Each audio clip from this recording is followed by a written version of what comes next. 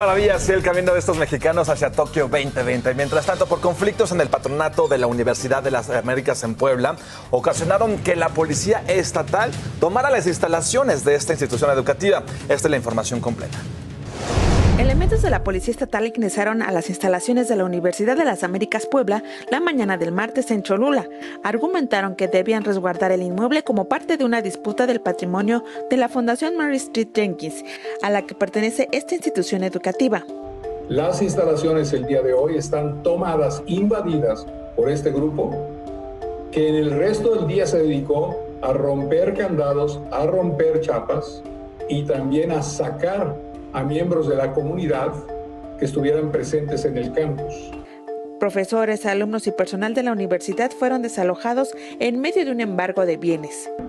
Bloquearon las cuentas bancarias de nuestra institución y es que de acuerdo con un comunicado que supuestamente había emitido la UDLAP, el patronato de la fundación de dicha universidad promovió un juicio ordinario civil ante el Poder Judicial de la Ciudad de México para recuperar los bienes de la fundación Mary Street Jenkins. Supuestamente las instalaciones fueron separadas del patrimonio debido a diversos actos delictivos de simulación y operaciones con recursos de procedencia ilícita denunciados ante autoridades estatales y federales. Más tarde, en las cuentas oficiales en redes sociales de la UDLA, revelaron que hasta el momento la institución no había emitido ningún comunicado por lo que era falso. La Junta para el Cuidado de Instituciones de Asistencia Privada de Puebla decidió que el patronato encabezado por Margarita Jenkins de Landa no era ya el patronato legal de la institución y nombró a otro encabezado por Horacio Magaña. Hay, por lo tanto, dos suspensiones aprobadas por jueces federales. Una de que nadie puede ser presidente del patronato si no es Margarita Jenkins de Landa.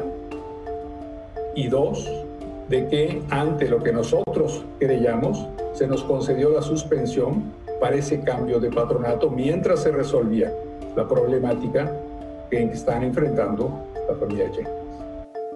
Vehículos oficiales se retiraron de la universidad con cajas de documentos y también fueron remolcadas dos camionetas Chevrolet Express propiedad de la institución manda un mensaje peligroso para México. Manda el mensaje de que cualquier institución puede ser atacada y vulnerada en el área académica, en el área de educación, por un acto de la autoridad. La Fundación Mary Street Jenkins advirtió que las acciones llevadas a cabo este martes violan la ley debido a que cuentan con una suspensión federal para evitar que se pretenda crear un patronato espurio. Exigimos a las autoridades del Estado, a esta Junta, la liberación inmediata de nuestras instalaciones, el respeto a la ley y el respeto a la dignidad de la comunidad judía. Las clases iniciarán de manera habitual este miércoles y los estudios continuarán siendo válidos. De Corre Karina Muñoz.